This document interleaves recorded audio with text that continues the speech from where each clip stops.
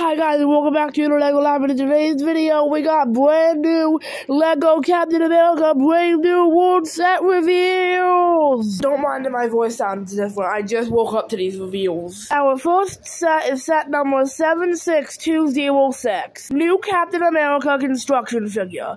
The set will be retailing for $34.99 USD and will have a whopping 350 pieces. This set looks amazing. You can see he has his epic shield, his epic little drone, his epic wings, his epic new mask. He's in an epic pose.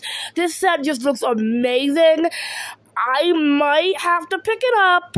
I might. I'm putting my word out there. Our next set is set number 76292, Captain America vs. Red Hulk Battle. It will be retailing for $54.99 USD and will have a whopping 223 pieces. This set is, for some reason, more expensive than the other one, though it has less pieces. It kind of makes sense, but still, what?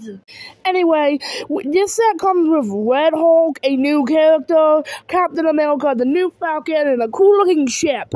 This set is honestly really epic. Here, I'm gonna play a zoom in on each character.